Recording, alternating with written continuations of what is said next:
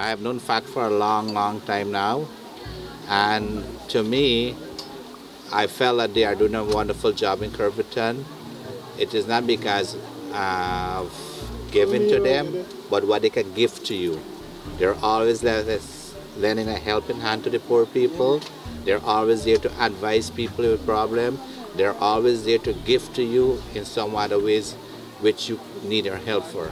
Fact, it's not just a building, it's not just an organization that caters for job empowerment for young people. It's a home. Anybody can go into FACT with whatever problem, whatever situation, and FACT is willing to help. My experience with them over the years has been wonderful because they have been doing a wonderful work over the past number of years. Um, in all their programs, I think they have benefited the community a lot. I am a member of FACT NGO, also a beneficiary, and I'm in charge of the salon, which is a capacity building part of FACT.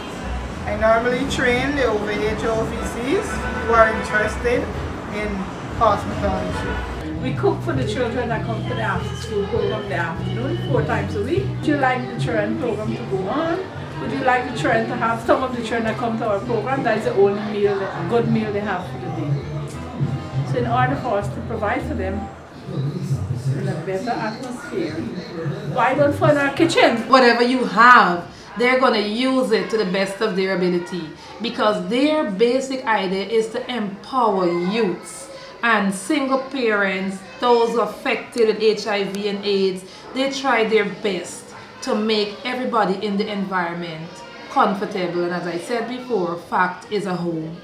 FACT stands for Family, Awareness, Consciousness, Togetherness. And as you're aware, our motto is inspiring and preserving families. Here at FACT, that is just what we do. You can come at the daycare. At FACT, we have the parents in the support group, parents in the parental guidance session. We have the children in the after school program, the children in the cosmetology classes, the children at the daycare facilities. We have the fathers at the support groups too. At FACT, we provide a holistic array of services. So support us at FACT as we continue to support the families.